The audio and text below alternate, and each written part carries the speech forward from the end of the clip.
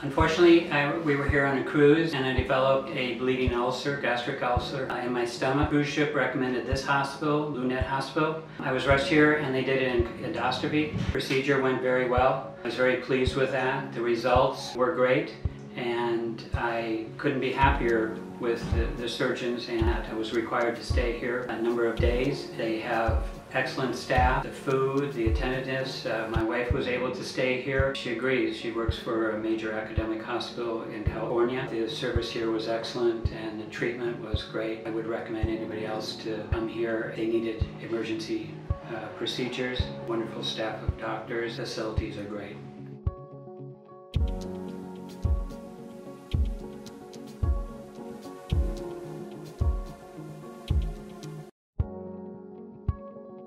you